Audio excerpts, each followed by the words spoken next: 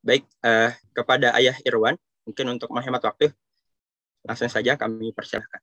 Ya, makasih Mas Awan. Bismillahirrahmanirrahim. Assalamualaikum warahmatullahi wabarakatuh.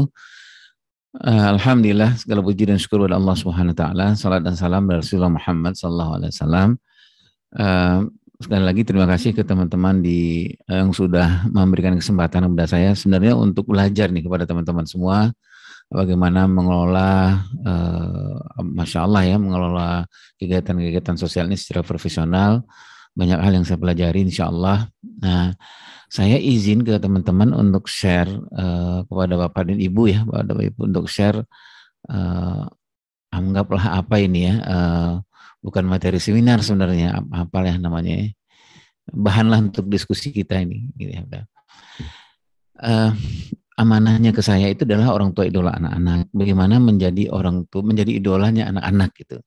Nah kalau di dalam parenting itu ayah bunda yang dimuliakan Allah SWT untuk menjadi idola itu tidak seperti tahu bulat gitu ya. gitu. Jadi emang uh, digoreng langsung mendadak halo jadi gitu nggak. Uh, ternyata nggak seperti itu. Jadi untuk menjadi idola depan anak-anak itu memang perlu proses perlu proses, perlu kita ya, dari awal, dari umur-umur tertentu kita ajak ya kita konsisten, kita komitmen untuk bagaimana kita selalu hadir, terikat dan terlibat di dalam diri anak-anak kita.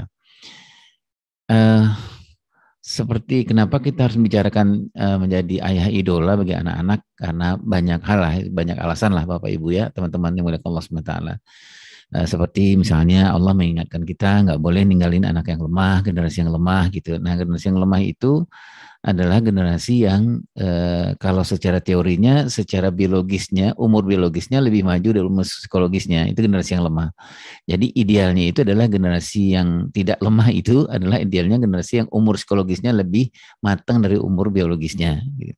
Nah, juga termasuk uh, apa kita kenapa kita membicarakan kita harus menjadi orang tua yang diidolakan oleh anak-anak itu supaya mengingatkan kepada kita bahwa ini kewajiban ayah terutama ya, ya bagaimana Allah mengingatkan kita ku anfusikum wa ahlikum naro itu. Nah, nanti kewajiban ini uh, kelak kemudian hari akan diminta pertanggungjawabkan oleh Allah Subhanahu wa taala. Kemudian saya mengistilahkannya, kenapa kita membicarakan uh, orang tua yang diidolakan anak-anak ini karena ada amanah dunia. Nah, amanah dunia ini Bapak dan Ibu yang dimiliki Allah taala, anak sekarang ini dunia membutuhkan ayah, membutuhkan ibu yang membutuhkan orang tua. Karena apa? Karena dari orang tua itulah nanti Allah meng, uh, apa berusaha berikhtiar menjadikan atau melahirkan atau menghebatkan calon-calon pemimpin kelak kemudian hari. Nah, di beberapa penelitian itu teman-teman yang mulia Allah taala, ayah bunda Eh, banyak sekali persoalan terjadi di dunia ini karena memang para pemimpinnya punya banyak utang pengasuhan waktu dia kecil gitu ya waktu dia kecil. Mungkin secara kognisi secara akademis mungkin dia lulusan universitas terbagus secara finansial dia kaya raya gitu. Tetapi yang jadi persoalan adalah kenapa ketika dia memimpin gitu eh, dia mungkin apa ya dia nggak eh, berani untuk mengambil sikap gitu ya. Terlalu banyak terpengaruh oleh orang lain atau penakutnya luar biasa gitu. Ya ini salah satu sebabnya adalah karena memang dia nggak mendapatkan role model dia nggak mendapatkan leader atau dia nggak mendapatkan idola ketika di saat-saat terbaik dia harus mendapatkan idola itu. Biasanya itu sekitar umur 14 tahun lama 15 tahun. Nah kemudian yang kedua adalah um, istri atau pasangan kita membutuhkan membutuhkan uh, apa ya membutuhkan suaminya gitu ya membutuhkan suaminya untuk karena suami ini yang yang paling depan itu adalah suami gitu. Banyak sekali bapak ibu yang mulai semua taala terjadi perceraian terjadi rumah tangga hancur-hancuran itu karena memang uh, tidak terbangunnya idola. Yang pertama itu idola uh, terjadi karena tidak terbangunnya koam yang pertama lebih dahulu Berikutnya adalah anak anak-anak itu membutuhkan ayah ya idola koam yang paling lebih dahulu gitu ya idola yang paling lebih dahulu itu adalah ayah. Nah sementara dia nggak mendapatkan itu. Apa yang sering terjadi yang teman-teman sering melihat ada yang disebut dengan father hunger, ada yang disebut dengan daddy issues itu. Nah, uh, teman-teman yang milik Allah SWT, orang tua idola itu kalau dalam konsep terbetul aulad itu seperti apa gitu. Ada beberapa yang kita menyebutkan orang tua idola gitu ya. Orang tua idola dalam konsep terbetul aulad itu adalah orang tua yang ayah dan bunda yang bisa menjadi teladan. Nah, ini yang saya sebutkan tadi itu. Menjadi teladan di dalam pendidikan anak dalam Islam itu uh, tidak bisa tiba-tiba langsung mendadak itu nggak bisa gitu. Jadi dibangunnya itu sejak dari awal, sejak dari umur dia kecil gitu, di umur bayi itu membangun keteladanan, membangun idola itu uh, waktu dia bayi itu kan perkembangan yang paling menonjol itu adalah pendengaran. Nah, oleh sebab itulah bayi itu uh, membutuhkan ayah dan ibunya yang nggak pendiam, tapi ayah ibunya yang suka yang ngomong gitu ya, suka baca Al-Quran, suka baca sirah dan lain-lain. Supaya apa? Supaya terbangunlah nanti keidolaan itu, terbangunlah keteladanan itu, terbangunlah nanti sosok model itu di dalam diri anak-anak kita sejak dari bayi.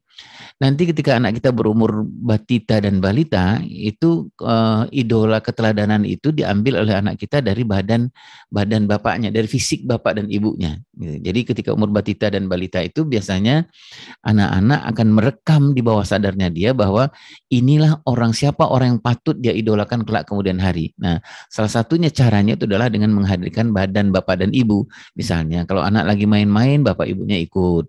Kalau anaknya lagi jatuh, misalnya bapaknya ikut. Ada bapaknya uh, apa megang tangannya atau membimbing dia untuk berdiri dan lain-lain. Kemudian ketika anak kita berusia TK dan SD gitu kelas rendah sampai kelas tinggi, nah biasanya penanaman penanaman ke diri anak kita supaya kita bisa menjadi idola kelak kemudian hari itu adalah dengan uh, menjadi sumber dari segala semua pertanyaan dari anak-anak kita. Biasanya anak-anak TK SD itu nanya apa aja nanya. Nah, Bapak dan Ibu waktu itu sebenarnya nggak usah bosan-bosan karena anak-anak kita sedang membutuhkan, sedang merekam sebenarnya yang paling pantas menjadi idola dia itu siapa, gitu ya. Nah nanti ketika anak kita sudah berusia balik itu ayah bunda berusia dua digit itu, nah bagaimana kita supaya anak kita menganggap kita menganggap menganggap diri kita ini ayah dan ibunya adalah teladan bagi dia adalah dengan uh, menjadi orang tua yang otor, punya otoritas. Nah otoritas itu ketika dia balik adalah ketika orang tua terutama ayah itu punya ketegasan dan ketegaan. Nah, gitu ya Bunda ya. Jadi di usia balik itu anak kita akan menganggap kita idola dia, akan menganggap kita teladan dia. Teladan mereka adalah ketika ayah dan ibunya itu punya otoriti, punya ketegasan dan ketegaan. Nah, orang tua idola itu apalagi orang tua yang pengarah. Nah, orang tua yang pengarah itu adalah yang yang memang orang tua sebagai seorang coach gitu yang bisa mengarahkan potensi anak. Artinya apa? Kalau dia bisa mengarahkan potensi anak berarti dia tahu tentang potensi anak. Dia tahu apa yang harus dikembangkan. Misalnya begini. Ketika anaknya berumur 0 usia-usia dini gitu ya yang harus dikembangkan itu adalah dia melakukan stimulasi dan amunisi yang sebanyak-banyaknya ya sebanyak-banyaknya. Dia memberikan inspirasi yang sebanyak-banyaknya. Dia tidak tidak mau menghancurkan self esteem anak-anaknya. Dia harus membuat membawa membangun pride pada diri anaknya sejak dari kecil. Itulah sebabnya kenapa kalau orang tua yang orang tua ayah dan bunda yang mau menjadi pengarah yang baik itu anak-anak usia dini itu jangan dibanyakin lomba gitu ya bunda ya. Lomba menjadi bahaya itu buat anak-anak di usia dini. Nah sayangnya mungkin kita kadang-kadang PAUD TK kita itu nggak nggak sepi dari lomba gitu, lomba-lomba padahal itu sebenarnya menghancurkan potensi anak-anak sebenarnya karena umur-umur itu dia nggak membutuhkan itu, belum membutuhkan itu. Nanti oh, apa nggak boleh ayah Irwan untuk mengarahkan potensi anak itu perlu dia survive, ada waktunya gitu, ada waktunya gitu ya. Biasanya di kelas-kelas tinggi ke atas sudah mulai kita mengarahkan kepada ada persoalan kompetitor dengan anak-anak kita. Kemudian sebagai pengarah pun uh, orang tua idola itu dia harus punya kontrol, mengontrol anak-anaknya. Nah, bagaimana cara mengontrol anak-anaknya ini? Otomatis ayah bunda yang dimuliakan Allah Subhanahu taala lagi-lagi terbiah dalam anak-anak itu nggak bisa langsung parsial sifatnya. Nanti aja diajarin anak kontrolnya itu sekitar umur-umur 9-10 tahun nggak bisa gitu ya Bunda ya. Memang harus sejak dari awal kita ngelatihnya gitu. Makanya pelatihan kontrol yang sangat luar biasa itu adalah bagaimana mengajak anak kita mengajarkan dan membimbing mengenalkan berpuasa sejak usia dini kepada anak-anak kita karena itu adalah salah satu uh, apa cara yang paling bagus untuk melatih kecerdasan emosional yang sering disebut dengan kontrol diri itu. Kemudian ayah bunda sebagai murabi, sebagai pendidik. Nah, kalau sebagai pendidik, nah sama seperti teman-teman misalnya ada yang berfungsi sebagai guru gitu ya, otomatis orang tua atau guru yang berfungsi sebagai pendidik, dia harus menjadi yang terbaik di setiap tahap yang dia dia tahu terbaik di tahap yang terbaik. Jadi misalnya begini, ada tahap-tahap perkembangan anak-anak. Nah, otomatis kalau ada yang orang tua yang punya anak Eh, dan guru yang melat, yang yang mengajar di sekolah-sekolahan gitu otomatis dia tahu tentang tahap perkembangan gitu ya. Ketika misalnya misalnya uh, Ustadz Awan, Ustadz Awan itu menjadi misalnya dia seorang guru guru kelas berapa? Guru kelas satu Kalau ditanya Ustadz Awan mengajar kelas berapa? Kelas satu Tahu kan apa yang terjadi di anak kelas satu Gitu. Harusnya dia tahu. Bahkan kata Ustadz Fatihah kan harusnya guru itu hafal di luar kepala tahap perkembangan anak. Kalau enggak jadi lucu gitu. Dia pegang anak kelas satu tapi dia nggak tahu anak kelas satu gitu ya. Apa yang terjadi emosional seperti apa spiritualnya seperti apa gitu. Sama dengan kita, kita punya anak 0 sampai 7 tahun. Terus kita nggak tahu cara memperlakukan anak, membangunkan anak di umur 0 7 tahun seperti apa. Kemudian bagaimana mengapresiasi anak 0 sampai 7 tahun kita nggak tahu gitu. Nah, ini menjadi lucu nih. Gitu, menjadi lucu bagaimana kita menjadi yang terbaik, menjadi idola bagi anak-anak kita sementara kita tahu nggak tahu apa yang terjadi di dalam diri anak-anak kita. Itulah sebabnya para ulama dan para ahli itu menyarankan kalau mau serius banget serius menjadi orang tua itu setidak-tidaknya di rumah itu ada buku tahap perkembangan gitu ya Bunda ya gitu. Atau kalau sekolah-sekolah gitu guru-guru tuh harus pegang buku tahap perkembangan. Kalau nggak menjadi uh, agak susah gitu mendidik anak-anak sementara kita nggak tahu apa yang terjadi di diri anak-anak kita. Sama gitu kalau misalnya saya beli motor gitu ya atau saya beli apalah gitu ya, ya saya beli motor lah gitu. Nah di, saya beli motor itu kan saya harus ada dapat bukunya ya misalnya ada manual booknya gitu. Nah, nanti kalau motornya eh, apa rusak itu saya nggak tahu benerinnya dari mana gitu. Nah ini itu baru motor ya sekarang persoalannya dengan anak sementara kita nggak tahu apa yang harus kita kerjakan pada anak kita. Kemudian ayah bunda sebagai pengembala, sebagai Arya ayah. Nah, Arya ayah ini bagaimana kita menjadi ayah bunda yang pengembala, hargai dan hormati eh, setiap tahap perkembangan anak-anak kita. Ada saatnya memang di mana anak-anak kita itu eh, mungkin karena perkembangannya dia ngomongnya enggak gitu, makan nak gitu, enggak, makan enggak, enggak, minum enggak, enggak gitu. Kalau kita enggak ngerti nih ayah bunda, kita enggak akan susah menghargai dan menghormati anak-anak kita. Kalau kita enggak tahu tahap perkembangannya, kalau kita enggak tahu bahwa ada tahap-tahap tertentu yang anak-anak kita tuh ngomongnya enggak gitu ya. Bagaimanapun ngomongnya enggak gitu, karena memang tahap perkembangannya meminta dia untuk ngomong untuk enggak gitu. Kemudian eh, ayah bunda, ayah bunda menjadi nasihat. Ya ini kalau kapan kita bisa menasihati anak-anak kita. Nah salah satu cara yang terbaik itu adalah memanfaatkan golden moment. Nah yang terakhir adalah ayah bunda menjadi rujukan. Menjadi rujukan bagi anak-anak itu setidak-tidaknya punya dua hal yang paling penting. Orang tua atau guru itu punya skill berbicara agar anak mau mendengar. Atau yang kedua adalah punya skill mendengar anak agar anak kita mau mau berbicara. Ini secara idealnya ya Bunda ya, secara idealnya orang tua idola itu adalah yang orang tua yang bisa menjadi teladan, bisa menjadi pengarah, bisa menjadi pendidik, bisa menjadi pengembala, bisa menjadi nasihat, bisa jadi rujukan. Ini idealnya. Nah, bagaimana supaya ya apa supaya kita menjadikan diri kita idola itu supaya anak kita itu menjadikan diri kita idola gitu ya. Nah, idola sendiri itu sebenarnya ayah bunda yang yang saya baca nih ya nanti Bapak Ibu boleh menambahkan, boleh mengurangi adalah sesuatu jadi kan eh, di dalam parenting itu ada tiga hal yang paling menonjol ya yang satu namanya laughing yang kedua namanya coaching yang ketiga namanya modeling atau idola ini gitu ya. Jadi tiga hal yang paling penting dalam dalam parenting itu. Nah, modeling atau pengidolaan ini ayah bunda yang melakukan sementara sangat berbeda dengan loving dan coaching laughing dan coaching itu mungkin satu uh, apa sifatnya itu kadang-kadang tentatif ya gitu ya. Tetapi yang namanya idola gitu yang namanya modeling itu itu adalah kadang-kadang kita nggak tahu kapan anak kita mengidolakan kita, kapan ujaran kita, kapan tindakan kita, kapan anak kita meng, me, apa, melihat kita dan mencontoh apa yang kita lakukan, kita nggak tahu kapannya gitu ya bunda ya. Gitu. Jadi itu sebutnya disebutkan oleh para ahli parenting itu bahwa proses mengidolakan itu proses yang dalam tanda menakutkan di dalam parenting soalnya. Yang anak-anak itu dia melihat dan dia nggak konfirmasi sama kita. Aku sedang mencontoh ayah lo nggak dikonfirmasi. Ayahnya sedang ngamuk-ngamuk gitu dia nggak konfirmasi sebenarnya. Hati-hati lo ya aku sedang mencontoh ayah gitu. Nggak ada anak yang seperti itu. Gitu ya. Nah baik. Kemudian idola itu juga adalah anak-anak mengidolakan ayahnya itu adalah dengan dua hal yang paling yang paling menonjol gitu. Yang pertama adalah lewat ujaran, ujaran dari ayah dan ibunya dan kemudian lewat tindakan ayah dan ibunya. Dua hal inilah yang dia dia lihat dan kemudian dia kerjakan. Nah, tadi saya sudah sebutkan bahwa uh, modeling itu prosesnya nggak mengenal waktu dan nggak mengenal tempat gitu kalau laughing dan coaching, yang tiga hal yang tadi peran yang paling menonjol dalam hidup dalam kita berterbihan anak kita itu, laughing, coaching, dan modeling itu, laughing, coaching itu mungkin ada tempatnya, ada waktunya. Kita mendidik anak atau anak mungkin ada tempat dan waktunya.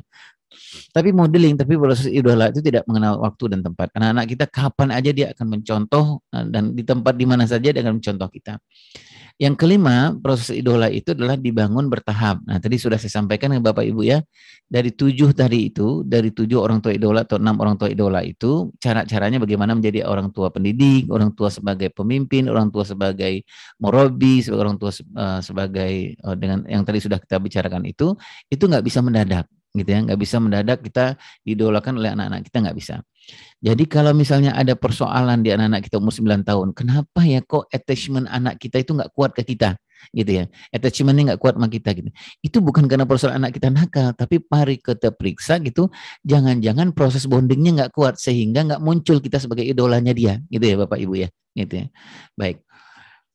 Uh, mudah-mudahan cukup nih setengah jam ya Ustadz Awan ya. Nah, bagaimana agar jadi ayah bunda idola anak-anak? Nah, saya mencatatnya, mengistilahkannya adalah supaya kita bisa menjadi ayah bunda yang diidolakan oleh anak-anak kita, jadilah ayah bunda yang benar dan asik. Nah, ayah bunda yang benar asik itu seperti apa? Ayah bunda yang asik itu, ayah bunda yang asik itu adalah yang ayah yang bunda yang benar itu yang berusaha ya, yang berusaha. Saya menggarisbawahi berusaha sesuai dengan Al-Quran dan Hadis, gitu ya. Walaupun ayah bunda yang milik Allah saya secara pribadi mengakui sangat jauh, masih sangat jauh saya untuk benar ini. Karena begini ayah bunda, sudah saya kan umur umur umurnya sudah sudah sepuh gitu ya, eh, anak-anak sudah besar, kadang-kadang sudah punya cucu juga gitu. Nah, bayangkan masih baru tahu itu misalnya gini, cara membangunkan anak seperti apa yang benar itu baru tahunya sekarang-sekarang ini gitu ya. Kadang-kadang cara memuji anak seperti apa baru tahunya sekarang-sekarang ini gitu ya. Nah, kenapa baru sadarnya, baru insafnya ini punya anak, mengasuh anak-anak, baru tahu, baru megang buku tahap perkembangan itu baru sekarang gitu. Nah, menurut emak saya ini penting juga bagi keluarga muda gitu ya bunda ya. Nanti kita akan lihat ada beberapa hal yang harus kita sepakati bersama gitu supaya kita nggak seperti saya gitu ya, yang nggak punya anak tapi ngurusnya cuma makan dan minum anak saja gitu. Ya. Kemudian yang kedua yang menarik itu adalah orang tua yang benar dan asik. Nah, asik itu adalah yang patut sesuai dengan tahap perkembangan ya bunda ya. Jadi kalau punya anak empat tahun, kalau saya tanya ke seorang ibu, ibu punya anak umur berapa? Umur empat tahun. Ibu tahu nggak umur empat tahun apa yang terjadi gitu? Oh saya tahu ayah Irwan, nah berarti dia asik nih, gitu ya. Nah, anak-anak senang sama orang tua itu. Ya, baik. Kemudian ayah bunda yang mulia taala, apa yang harus kita lakukan supaya kita bisa menjadi orang tua yang benar dan asik yang tadi saya sebutkan itu? Ini sebenarnya saya ambil dari beberapa buku yang mungkin Bapak dan Ibu sudah sering mendengar ini dan membaca ini gitu ya. Dan mungkin juga ustadz-ustadz dan ustazah yang lain, guru-guru kita yang lain juga sering mengungkapkan ini. Menjadi orang yang benar asik itu uh, nggak lepas dari tiga hal ini. Yang pertama adalah ayo periksa relasi spiritual kita seperti apa, terutama nih relasi spiritual ayah. Kalau dalam parenting itu disebabkan disebabkan disebutkan oleh beberapa ulama dan beberapa ahli bahwa persoalan rumah tangga itu banyak sekali ditentukan seperti apa relasi spiritual ayah terhadap Allah Subhanahu wa taala. Gitu. Jadi kalau misalnya ayahnya, pasangan, misalnya kalau ibu suaminya itu uh, hubungan secara spiritual nggak kuat kepada Allah gitu, uh, kita bisa melihat nanti persoalan rumah tangga itu kan banyaknya luar biasa gitu. Kalaupun ada persoalan susah untuk diselesaikan gitu. Uh, karena um, yang paling gampangnya gini, uh, melihat relasi spiritual uh, ayahnya kepada anak. Misalnya uh, kalau ibu bisa periksa ini suami sholat subuhnya di mana gitu ya bu ya terus sholat-sholat sunnahnya jalan apa enggak, tilawah Al-Qur'annya rutin enggak gitu. Bacaan Al-Qur'annya sudah punya anak dua, tiga udah terperbaiki apa belum gitu. Atau baca Al-Qur'annya dari dulu gitu-gitu aja gitu ya Bapak ya. Dan kemudian bagaimana amal-amalan yang lain. Nah, karena kenapa suami ini gitu ya, kenapa suami ini yang paling penting? Karena memang di parenting khususnya di uh, apa di fathering itu khususnya dikatakan betul bahwa hubungan spiritual suami, hubungan relasi suami dengan Allah Subhanahu wa taala baik, insya Allah nanti kalau dalam pengasuhan akan mudah dia dalam mengasuh anak-anaknya. Kemudian yang kedua yang kita perlu periksa adalah relasi pernikahan. Relasi pernikahan ini Bapak dan Ibu, kenapa kita memeriksa relasi pernikahan? Karena relasi pernikahan sangat mempengaruhi relasi pengasuhan. Kalau pasangan suami istri itu hubungannya lagi baik-baik saja, insya Allah akan mudah dia mengasuh anak-anaknya. Tapi kalau hubungan suami istri itu sebenarnya punya pura-pura baik, pura-pura bahagia gitu ya, hubungannya udah nggak baik sebenarnya. Udah punya anak satu, dua, tiga itu pura-pura gitu. Oh, kamu gimana hubungan dengan suamimu gitu? Ya kadarullah, Allahu Akbar deh. Nah ini ini mm, pasti pengaruhnya besar nih kepada relasi pengasuhan. Bagaimana ayah bunda? Akan lucu ya. Bagaimana dia mau menghebatkan anaknya, sementara mereka berdua sendiri itu nggak kompak gitu ya. Bagaimana dia membangunkan anaknya, udah punya anak, udah nikah 10 tahun, udah nikah 7 tahun. Membangunkan anak saja itu tidak pernah terbicarakan. Nggak ada kesepakatan cara membangunkan anak gitu. Jadi anak-anaknya bangun setiap pagi itu ya cara ayah, ya cara ibu, ya cara ayah, ya cara ibu gitu ya bunda. Jadi nggak ada kesempatan, tidak ada kesempatan untuk menyepakati ini cara kita gitu. Yang paling berat di dalam pengasuhan itu kan ayah bunda adalah caramu dan caraku. Kalau itu bertahan terus itu yang paling berat sebenarnya gitu ya. Sehingga anak-anak bingung yang benar itu yang mana sih gitu ya. Nah, itulah sebabnya, itulah sebabnya Kenapa kita memeriksa relasi pernikahan? Karena pengaruhnya sangat besar kepada relasi pengasuhan. Ya, baik. Yang terakhir ayah bunda yang kita periksa itu adalah relasi pengasuhan. Relasi pengasuhan ini adalah itu yang tadi saya sebutkan itu. Kuncinya dua saja. Pengasuhan yang baik, yang pengasuhan yang terikat dan terlibat, yang menghebatkan anak-anak kita kelak kemudian hari itu adalah kuncinya dua. Apakah kita punya mencari ilmu nggak setiap hari? Nah kalau saya mengatakan ke diri saya adalah ilmu tahap perkembangan. Itu yang saya sebut tadi itu. Kalau saya sih apa membaca di para ulama ulama dan ahli itu kalau uswa apa apa sang suami istri atau orang tua yang serius ngurus anaknya itu pasti setidak-tidaknya di rumahnya itu ada buku tahap perkembangan. Nah gitu ya Ibu Kalau nggak ada buku tahap perkembangan, dia mau, mau nyarinya ke mana? ya ya. Ini anak umur tiga tahun. Anak tiga tahun kata istrinya, kita mau ngapain nih bang anak kita? Gitu ya. Nah, kata si abangnya, gue juga nggak tahu kita mau ngapain. Nah gitu. Nah gimana caranya? Udah dah, gimana cara lu dulu waktu kecil, cara gua dah kita gedein. Anaknya baru lahir kemarin, gitu ya bunda ya. Baru 2000 berapa itu? 2000, 2016, 2017. Nah dia didik dengan cara dia waktu kecil gitu yang akan repot itu eh bunda ya. Nah itulah sebabnya kenapa di sekolah-sekolah yang baik menurut emak saya guru-guru juga harus tahu buku tahap perkembangan itu ilmu. Yang kedua adalah kalau dalam relasi pengasuhan sepanjang yang saya tahu nih Bapak Ibu keterbatasan ilmu saya nggak boleh memberikan waktu luang harus memang meluangkan waktu kepada anak-anak gitu. Jadi jangan kasih waktu sisa kepada anak-anak kita. Nah, kita lihat sedikit ya Bapak Ibu ya, relasi ilahiyah, relasi dengan Allah itu, relasi spiritual itu Nah, relasi spiritual itu, ayah bunda yang dimulakan Allah SWT adalah kuncinya sepasang suami istri itu dengan Allah itu tidak hanya dia tersambung, tapi juga terhubung dengan Allah, tidak hanya tersambung dan terhubung, tetapi orang tua itu tergantung kepada Allah. Nah, kalau dia sudah sampai tergantung kepada Allah, akan muncul dalam pengasuhan kepada anak-anaknya apa yang disebut dengan parenting ilahiyah itu. Nah, parenting ilahiyah itu adalah kalau dia mengurus anak-anaknya, kalau ada apa-apa dengan anak-anaknya, ada kasus dalam rumah tangganya, yang pertama dia ingat itu bukan bukan parenting skill, bukan bukan buku, bukan konselor, bukan psikolog, bukan psikiater, bukan itu yang diingat pertama sama dia pasang suami istri itu. Apa yang diingat yang pertama itu adalah bagaimana Allah sebenarnya apa kenapa kita saya mungkin ini saya bermasalah dalam komunikasi dengan anak. Yang pertama saya ingat itu bukan wah ini konsol, konsol apa nelpon siapa nih? Wah ini tanya mau ustadz siapa nih? Bukan itu. Tapi yang pertama adalah yang harus saya ingat itu adalah ini kenapa kok saya ngomong sama anak, ngomong sama istri nggak nyambung-nyambung ya gitu ya. Yang pertama saya ingat itu adalah oh pasti ada nih hal-hal yang saya langgar nih. Misalnya begini, kenapa mulut saya ini kok nggak nggak nggak apa ya kalau orang orang Depok bilang tuh nggak asem gitu ya, gitu. Jadi nggak kok nggak anak-anak nggak denger ya apa yang kita omongin gitu. Nah, bisa jadi yang pertama saya periksa itu adalah jangan-jangan mulut saya ini hari-hari ini udah baca Al-Qur'annya udah jarang gitu ya Bapak Ibu ya. Zikirnya juga udah jarang atau mulut saya ini lebih banyak saya gibah sebenarnya gitu. Nah kalau itu yang saya kerjakan mulut saya itu yang, yang dikerjakan oleh mulut saya Allah akan cabut keberkahannya gitu ya. Nah itulah yang dulu yang harus saya saya saya apa saya pelajari yang saya salah saya salahkan salahkan dulu bahwa misalnya oh ini mulutnya karena nggak berkah makanya nggak didengar sama anak-anak gitu nggak nyambung sama istri. Nah setelah itu barulah kita bicara soal parenting skill. Baik. Sudah. Udah Masa? Ah, good. Berikut ayah bunda adalah relasi pernikahan.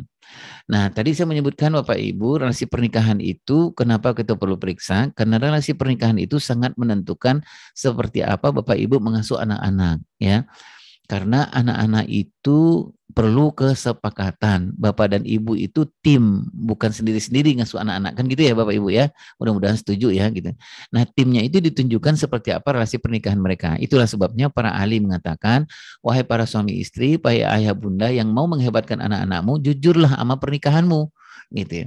Pernikahanmu sebenarnya apa nih? Baik-baik saja kah? Atau udah nggak baik-baik saja sebenarnya? Udah pura atau pura-pura baik atau pura-pura bahagia gitu ya. Jadi sebenarnya kenapa dalam pernikahan ini harusnya semakin lama menikah gitu ya, semakin kurang asmanya. Tapi kenapa semakin lama menikah asmanya cepat kambuh gitu ya. Jadi uh, asma kambuh, asam urat kambuh, kolesterol kambuh gitu ya. Nah, kenapa?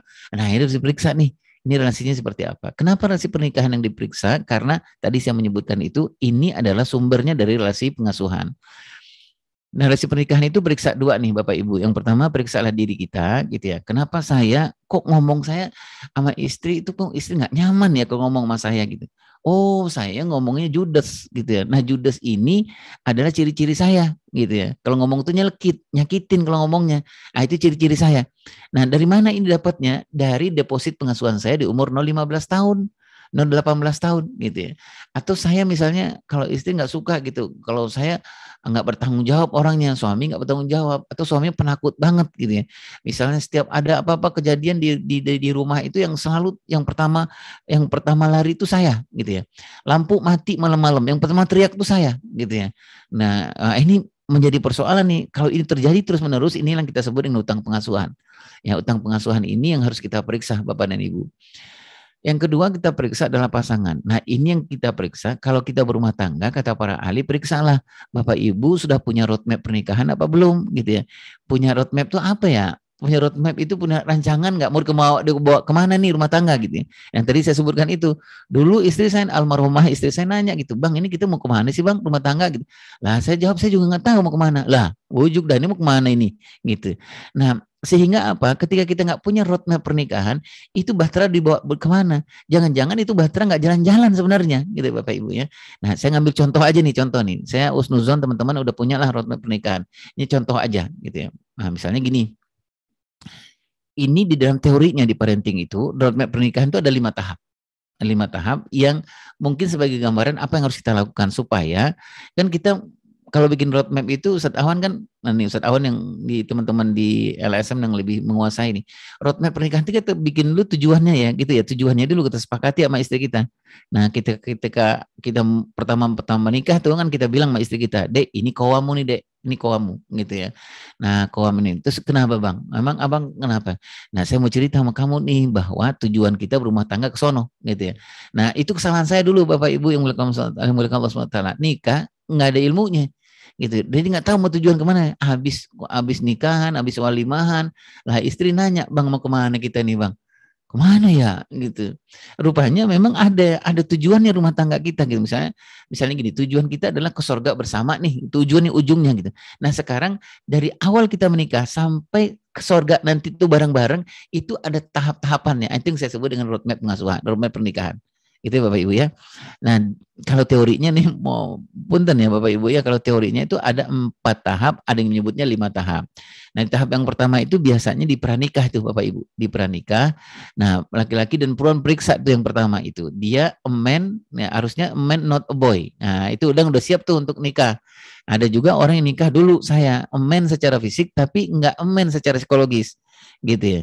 Jadi emang laki-laki secara fisik gitu, tapi saya belum siap sebenarnya secara psikologis gitu, nggak laki-laki secara psikologis.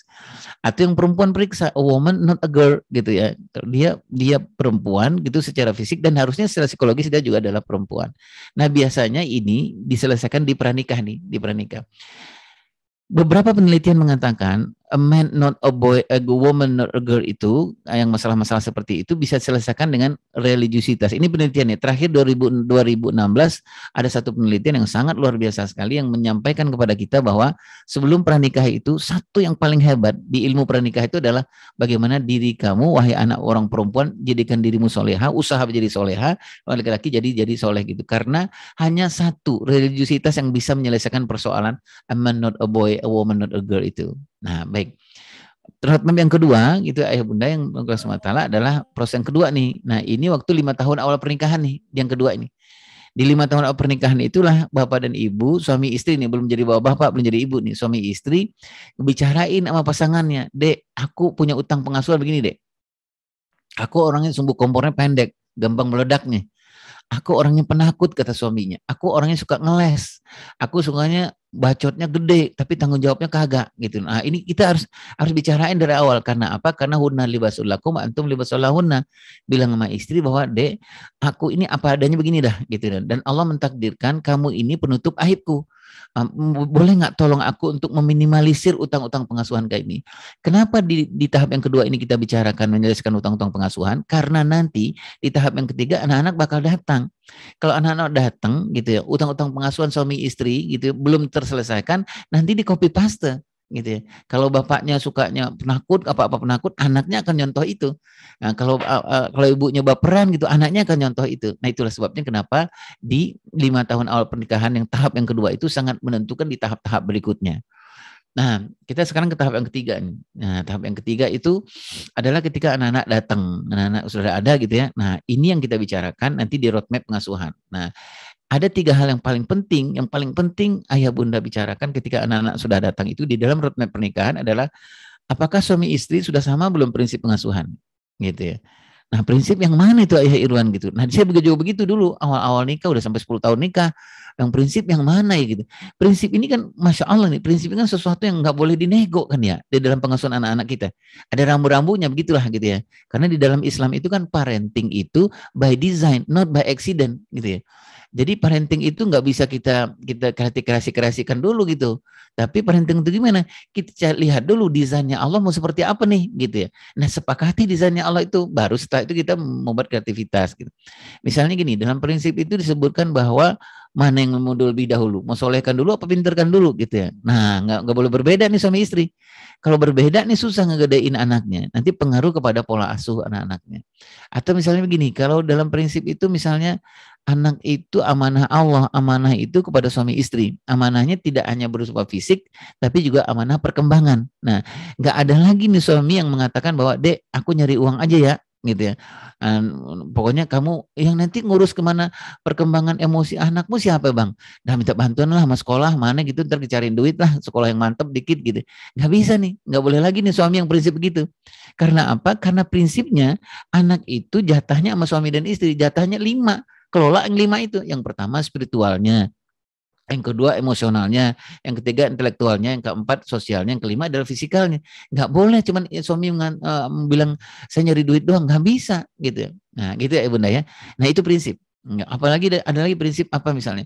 Oh prinsipnya di dalam pengasuhan dalam Islam itu adalah prinsip urusan kita yang paling banyak itu ikhtiar gitu ya. Hasil jangan terlalu dipikirin gitu ya. Hasil itu ranahnya Allah gitu. Banyak sekali suami istri menjadi stres gitu. Istri nanyain ke tetangganya, "Kenapa ya anak gua nggak soleh dan soleha?" Emang anak lu umur berapa? Anak lima tahun, belum soleh dan soleha gitu. Soleh dan soleha urusannya Allah gitu. Urusannya ibu adalah ikhtiarnya. Udah berikhtiar belum untuk mensoleh-solehkan anak-anak gitu. Nah, itu prinsip ya Bunda ya. Hmm, baik. Kemudian yang kedua itu pola. Nah, pola itu gimana? Pola ini nggak sama nggak apa-apa ayah bunda, tapi pola ini harus sepakat suami istri kita sepakat. Nah tadi saya menyebutkan lagi-lagi di contohnya saya nih uh, Ustadz Awan. Udah lama menikah gitu ya, belum ada kesepakatan pola cara ngebangunin anak bagaimana. Cara ngebangunin anak ya cara saya dengan cara istri beda gitu ya.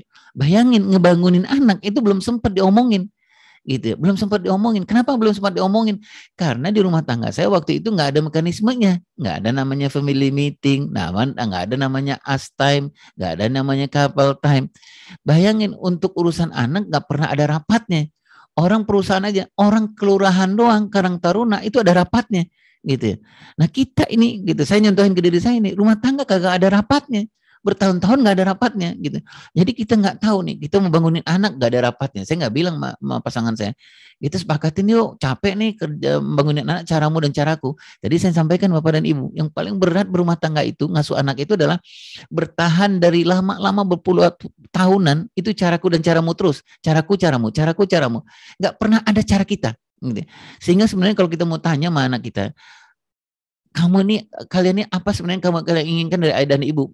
Salah satu yang mereka inginkan itu adalah bisa nggak misalnya hidup kami ini jangan diurus dengan cara ibu dengan cara bapak. Dari urus ya cara bapak dan ibu, cara kita itu seperti apa? Bisa nggak ngebangunin kami ini hari ini bapak yang ngebangunin cara bapak, besok ibu yang bangunin cara ibu. Bisa nggak diskusi diskusi gitu misalnya begitulah bapak ibu ya sepakat gitu ya. So, sibuk banget sih, kenapa nggak ada waktu gitu bicarain. Saya nih bapak dan ibu untuk muji anak aja itu nggak ada kesepakatan gitu ya. Muji anak umur segini nggak ada kesepakatan gitu ya. Muji anak umur umur umur kelas rendah gimana, kelas tinggi gimana, gitu. nggak ada kesepakatan. Kenapa nggak ada kesepakatan? Karena nggak ada mekanisme, gitu ya bunda ya. Nggak ada nggak ada dalam dalam rumah tangga itu nggak ada yang tadi saya ada rapat-rapatnya gitu ya. Satu lagi itu nggak ada yang gini. Dulu saya bikin buku gini ya, Ini bukan jualan buku ya, gitu. Karena bukunya udah nggak ada emang udah 8 tahun yang lalu ada buku rujukannya tahap perkembangannya yang kalau kita baca tuh bareng gitu. Nah, saya bilang nih, misalnya gini, saya bilang sama istri saya, Dek, nih kayaknya capek deh anak-anak juga capek nih cara ngebangunin terus berantem terus gitu ya anak-anak itu. Terus kata istri gimana caranya bang? Yuk kita baca buku yuk nih ada buku rujukan bareng nih. Ah buku inilah kita baca sehingga muncullah cara kita bukan caramu dan caraku ya udah ya. Baik nah yang terakhir itu adalah roadmap pengasuhan. Roadmap pengasuhan nanti sebentar lagi kita lihat ya. Untuk mengawal yang tiga itu ayah bunda yang mulia subhanahu adalah yang mengawal yang ketiga itu adalah dengan adanya komitmen dan konsisten. Jadi istilahnya Ustadz Awan itu adalah untuk mengawal yang tiga itu harus istiqomah dan istimroriyah. Nah, itu yang paling penting. Nanti kita bahas lagi. Yang keempat, di roadmap pernikahan yang keempat itu, ayah bunda adalah ini semakin anak-anak semakin sudah mulai besar gitu ayah, ayah bunda ya. Nah, kemudian juga mungkin meninggalkan kita, anak-anak sudah sibuk secara fitrah mungkin 15 tahun ke atas sudah sudah nggak bersama dengan kita. Nah, apa yang harus kita kuatkan? Gitu ya Bunda ya, harus kita kuatkan. Kalau kalau di ilmu parenting itu salah satunya adalah di tahap yang keempat ini ayah dan ibu menguatkannya dengan 15 sunnah Rasulullah SAW itu. Nah, 15 sunnah itu mudah-mudahan Bapak Ibu sudah hafal ya, karena harus dikerjakan itu setiap hari.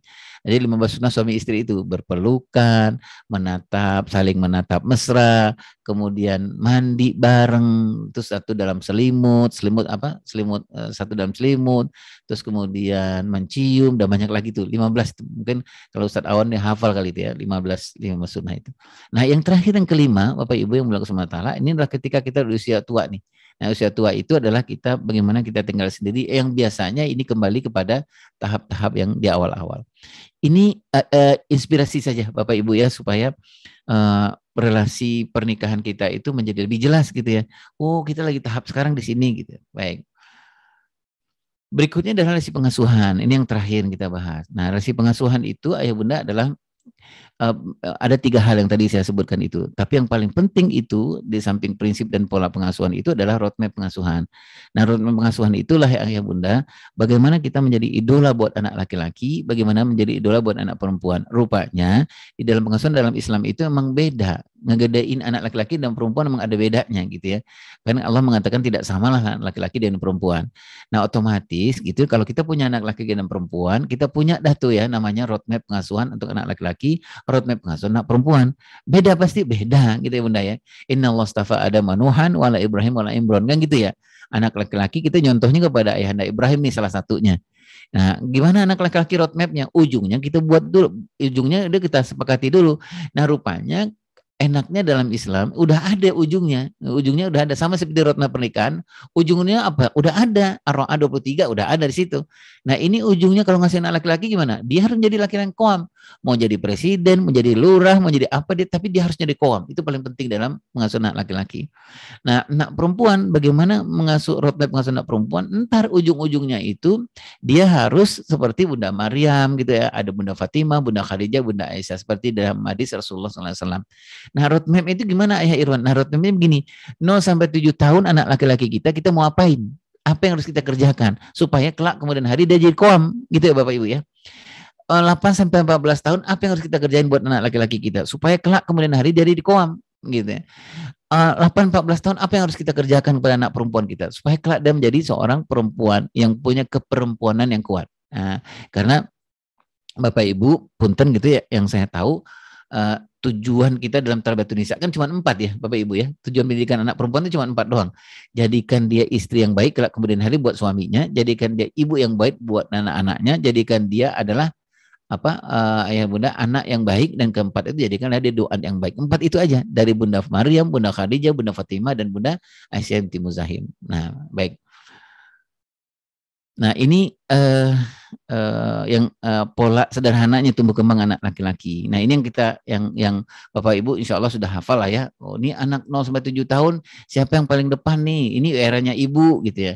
Nah era ibu berarti ada fitrah yang Allah berikan. Kenapa ibu di usia 07 tahun maju gitu? Karena Allah memberikan fitrah tender love.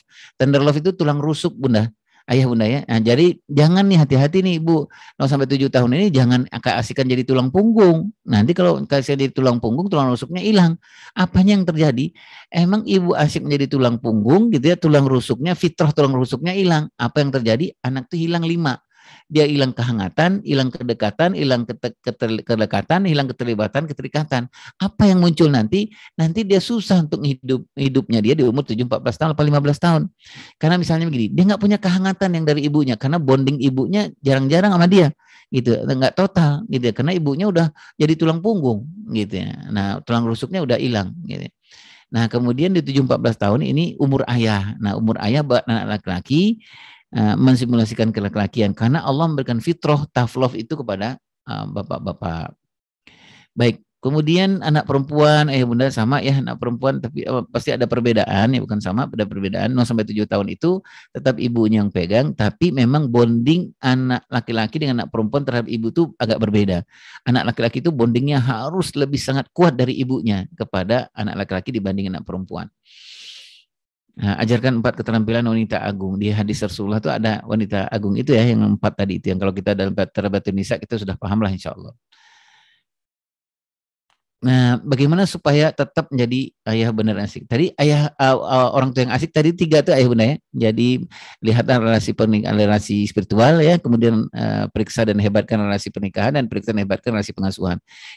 Gimana supaya tetap gitu ya benar dan asik? Nah, tadi saya sampaikan ada dua hal yang paling penting yaitu punya komitmen istiqomah dan punya istimroriyah konsisten. Gitu ya bunda ya gitu. Jadi punyalah kita untuk menjaga supaya kita menjadi benar dan asik itu kita harus menjaga brand kita seorang ayah harus pertahankan brand itu punya komitmen lah terhadap brand ayah itu. Gitu. nah ini ukuran-ukuran komitmennya gitu. Komitmen seorang ayah dan bunda itu komitmen enggak nanti kita bisa lihat dan ukuran ini gitu ya. Misalnya Apakah ayah sambil contoh ayah nih? Apakah ayah mencoba membandingkan antara komitmen ayah kepada anak dengan komitmen ayah dengan kantor? Nah, saya ini kadang-kadang malu nih jawabnya, eh bunda ya. Saya komitmen sama kantor tuh masya Allah gitu ya. Takut banget telat sama kantor. Tapi saya nggak takut tuh telat kalau apa-apa sama anak saya, gitu ya bunda gitu. Jadi oh, jadi hancurlah komitmen saya dengan gini. Saya kalau sama kantor ngomong ntar itu, aduh deg-degan rasanya. Tapi kalau anak setiap hari pulang, anak bilang ya aku boleh nggak main sama ayah ntar Besoknya anak ngomong lagi, ya aku boleh nggak diceritakan ini, entar, entar, entar gitu. Jadi masya Allah ini, masya Allah, itu hancur-hancuran lah komitmennya. Nah, baik ayah bunda. Kemudian selanjutnya adalah bagaimana cara memperkuat komitmen. Ini ayah bunda sudah seringlah melakukan habis tahajud dalam doa-doanya selalu menyampaikan komitmen ini kepada ayah kepada Allah Subhanahu wa taala. Kadang-kadang nangis kita ya. Ya Allah, saya zalim, ya punya anak tapi nggak tahu sebenarnya anak itu lagi apa sebenarnya gitu. Yang terakhir adalah konsisten istimroriyah ini. Istimroriyah ini adalah bagaimana kita menjalankan terus-menerus apa-apa yang kita komitmenkan sebagai seorang ayah dan sebagai seorang ibu. Ini ada ukuran-ukurannya Bapak Ibu, ukuran uh, sejauh apa konsistensi kita sebagai seorang ayah dan sebagai seorang ibu. Nah, bagaimana cara menjaganya ini? Ini jaga janji, ya, kawal kata-kata ayah dan bunda, kemudian prioritaskan di dalam hidup ayah bunda ya, uh, prioritaskan apa nih yang paling prioritas dalam hidup kita gitu apakah anak-anak apakah karir apakah hobi gitu.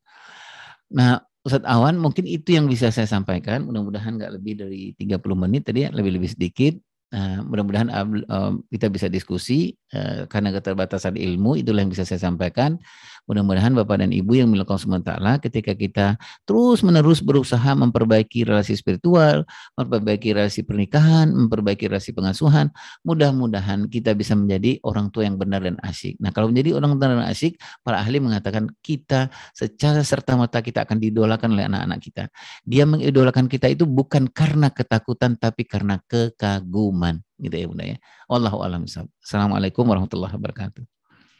Waalaikumsalam warahmatullahi wabarakatuh. Baik, sekurang jazakallah khair kepada Ayah Irwan. Waalaikumsalam. Menarik sekali ya bahasannya. Tadi juga cukup padat.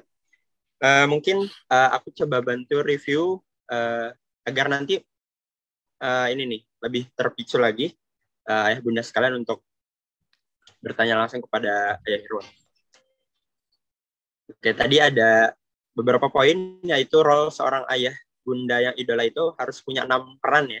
Teladan, pengarah, pendidik, penggembala, nasihat, dan rujukan. Kemudian kuncinya dua, benar dan asyik, benar sesuai Quran dan hadis, kemudian asyik sesuai tahap perkembangan si anak. Nah, dan tipsnya adalah dengan menjaga tiga relasi, relasi spiritual, pernikahan, dan pengasuhan.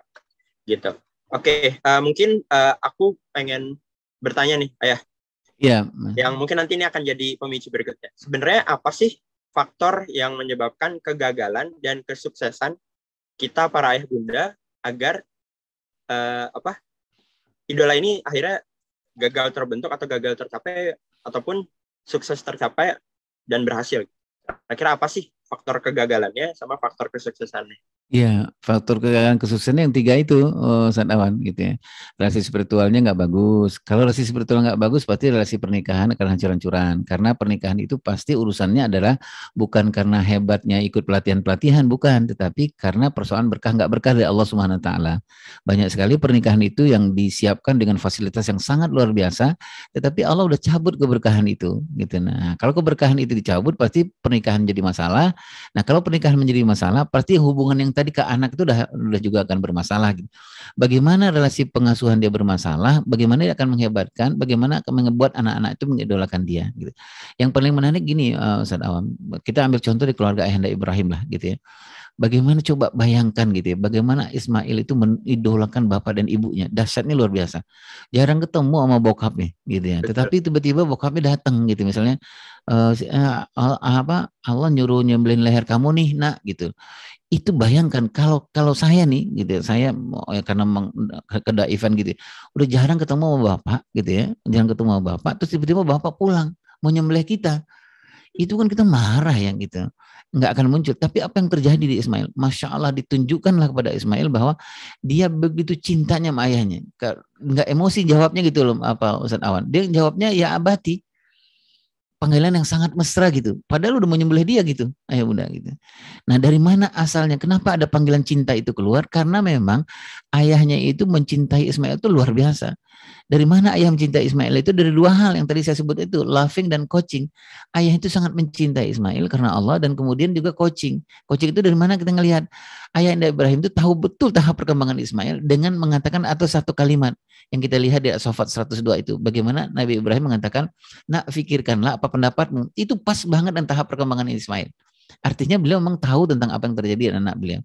Jadi ketika ayahnya mencintai Ismail itu dan kemudian apa pun apa pun yang dilakukan ayahnya, yang muncul pertama itu adalah ketaat kepada ayahnya. Dia bilang ya ayah lakuin aja deh kalau perintah Allah lakuin aja gitu.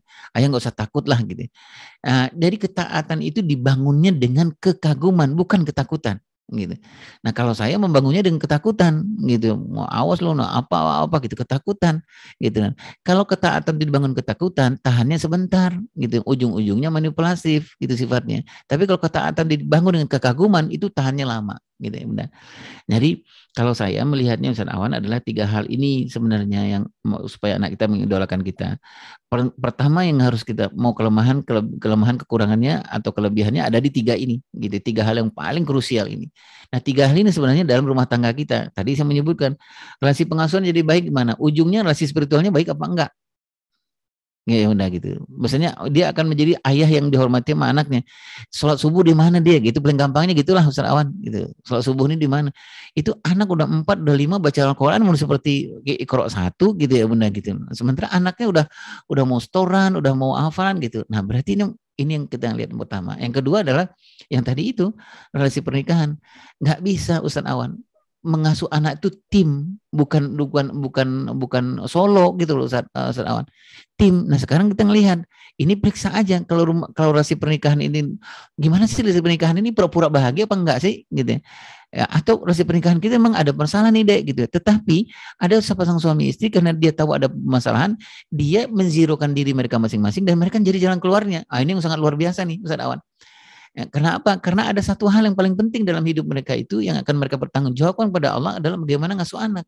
Gitu. Nah, yang paling berat itu Ustaz Awan, saya pernah ngerasa ini Ustaz Awan. Pura-pura bahagia gitu Kang. Pura-pura bahagia dalam rumah tangga gitu ya. Aduh, capeknya luar biasa. Kan pura-pura capek ya Ustaz Awan ya. Pura-pura soleh, pura-pura soleha itu kan capek ya gitu ya. Pura-pura soleh. Kalau pura-pura itu aktor sinetron, dia semakin bagus dia pura-pura, semakin kaya dia, honornya semakin tinggi. Lah kita semakin pura kolesterol naik, asam urat naik gitu ya. Karena pura-pura. Sampai kapan sih kita bisa pura-pura sebenarnya? Nah gitu. Karena nanti pengaruhnya pada anak-anak. Di parenting itu ada sebuah istilah Ustaz Awan namanya mirror effect gitu. Jadi eh, anak-anak itu susah kita bohongin kalau kita itu ada masalah sebenarnya dalam pasangan kita gitu. Ada persoalan gitu. Mungkin gitu Ustaz Awan. Allah alam Baik. Ya kurang lebih itu ya uh, ayah bunda sekalian faktor uh, pendukung kesuksesan ataupun kegagalan kita menjadi uh, orang tua yang didolakan oleh anak. Oke, baik. Sudah ada pertanyaan pertama, Ayah Irwan, dari Kak Ria Dana. Ayah Irwan mau tanya, apa solusinya jika dalam satu keluarga ada yang terlewati atau tidak berjalan secara utuh sesuai roadmap yang seharusnya, sehingga kaitan dengan anak-anak juga ada yang tidak terbentuk. Misalnya, keberanian untuk cerita seluruh yang dialami. Apakah kira-kira langkah orang tua seharusnya? Ya, kalau saya Bunda Ria yang pertama itu adalah memang minta ampun kepada Allah. Ini saya dulu ngelakuin ini Bunda Bunda Ria gitu. Karena apa? Karena emang kita udah kita jujur aja. Saya nih Bunda Ria jujur aja gitu. Karena emang aduh apa ya saya nyebutnya berumah tangga tapi tahunya tengah jalan Bunda Ria gitu ya. Jadi ilmunya baru tengah jalan, udah jalan udah misalnya saya mau dari mana ya? Dari Pasar Minggu ke Depok misalnya gitu ya udah jalanin di rumah tangga, udah sampai lenteng agung, baru tahu ilmunya, gitu benar ya gitu. Nah, menurut saya yang pertama itu adalah karena apa harus minta ampun kepada Allah? Karena Allah sajalah benar ya.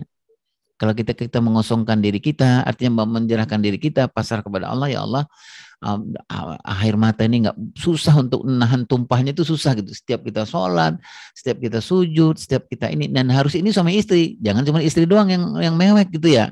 Jadi memang harus suaminya. Nah, suami cuek-cuek aja istrinya ngejar gitu tahajud diusahain tiap malam. Nah suaminya makin ngorok tiap malam gitu. Ah ini susah nih gitu ya.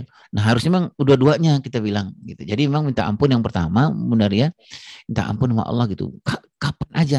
Kalau saya mengistilahkannya istilahnya apa Ustadz Awan dan kawan-kawan yang muda-muda nih move on dan move up itu penting gitu jadi nggak hanya sekedar move on tapi harus move up. Jadi kalau saya istilahkan nggak nggak hanya sekedar hijrah tapi mi'raj beneran gitu ya gitu ya. Jadi bukan hanya pindah doang, pindah secara vertikal tapi pindah secara horizontal. Eh, pindah secara horizontal tapi pindah secara vertikal gitu. Yang kedua, eh, Bunda Ria kalau saya ngusulin memang mengakui, mengakui itu harus berdua gitu. Yang tadi saya sebutkan itu ada istri yang udah ya Allah gitu ya, gimana nih itu nggak terlewati lima tahun awal pernikahan kagak ada ngomong-ngomongan. Ini si si Koam juga nggak ngomong mau ke mana nih bang gitu. Lah gue juga sih nggak tahu ke mana gitu. Udah kita jalanin aja gitu. Udah jalan 10 tahun pernikahan kita nggak omongin. Nah, udah punya anak, nggak pernah juga disepakatin ngebangunin anak di mana gitu ya. Yang yang suaminya asalnya dari Cirebon, istrinya asalnya dari Garut. Nah, dua mazhab yang berbeda itu benar ya, gitu ya. Bertahan aja gitu bangunin anak cara Cirebon, bangunin anak cara Garut. Nah, itu yang kedua. Jadi mengakui harus dua-duanya benar ya mengakui. Yang ketiga itu adalah menyadari. Menyadari itu maksudnya gini, yang mana yang kita belum lakuin ya bang, mas yang mana ya gitu. Oh ya Allah, kata si suaminya, kita ini belum tahu deh kita mau ke mana gitu. Nah, berarti itu dulu yang kita katai. Tujuan dulu. Biasanya begitu dari ya. Kalau tujuan tuh mengikat seluruhnya. Nah, begitu teori-teorinya Mas Awan dan kawan-kawan nih. Jadi kalau apa-apa itu mulailah dari akhir. Kan begitu benar ya, ya gitu ya. Mulai dari akhir.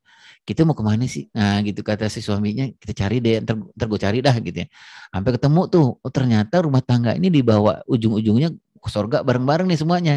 Nah, berarti kita tentuin dulu nih gitu. Nah, yang berikutnya adalah benar ya memang setelah kita menyadari yang mana yang harus kita perbaiki lebih dahulu, yang keempatnya adalah harus kita memperbaikinya segera gitu benar ya memperbaiki segera apa-apa yang kurang harus segera jangan ditunda gitu ya. nah yang kelima menurut emat saya adalah mencari biah yang baik. Itu penting, penting banget itu. Kalau kita apa-apa yang sudah kita perbaiki, misalnya apa suami istri, oh cara komunikasinya sudah diperbaiki, cara mendidik anaknya sudah diperbaiki gitu ya. Oh, berarti memang harus kita cari lingkungan yang lebih bagus nih dari ya supaya kita tetap istiqomah gitu. Istimiroriyah, istiqomah dan istimiroriyah. Allahu a'lam bishawab. Ya, baik. Oke, kemudian ada lagi ayah pertanyaan dari Kak Dalilah.